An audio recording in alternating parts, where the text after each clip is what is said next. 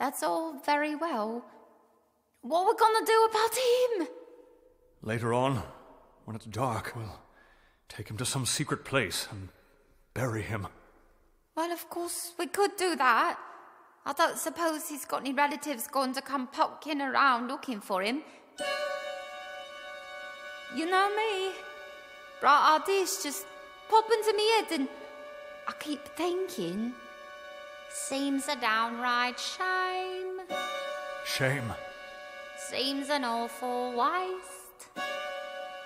Such a nice plump frame, what's his name has? Had. Has.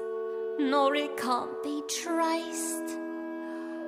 Business needs a lift.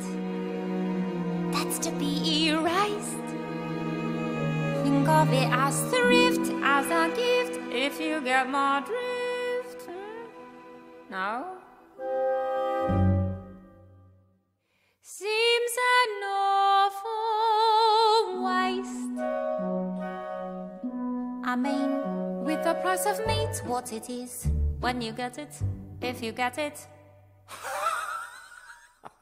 Good, you got it. Take, for instance, Mrs. Mooney at a pie shop.